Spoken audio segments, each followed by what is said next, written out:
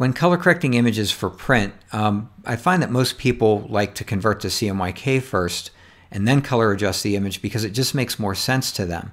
Um, working in the RGB color space, um, people tend to get confused. If the image has too much cyan, it's like, well, what channel do I go in when I'm working in RGB to, to make the adjustment? Well, it's actually quite simple. If you go to Image Adjustments and Curves, or you can work in levels if you prefer.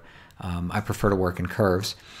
And You'll notice here I'm working in the RGB color space, but if I go into the red channel, you'll notice when I bend the red channel up and down, I'm actually adding or removing cyan.